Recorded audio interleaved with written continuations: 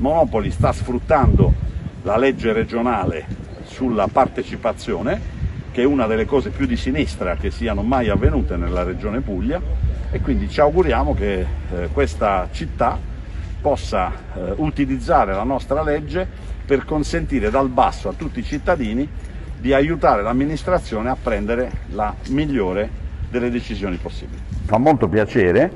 che l'amministrazione di Monopoli abbia eh, deciso di procedere in, questa, in questo modo eh, per utilizzare un volume pubblico che viene dismesso dall'uso precedente, un deposito di carburanti di natura militare. E adesso ovviamente questa è una grande occasione per una città in tumultuosa eh, evoluzione che evidentemente può utilizzare questo volume per completare eh, la sua attrattività. Questa è già una città dove eh, tutti vorrebbero abitare, tutti vorrebbero venire in vacanza e quindi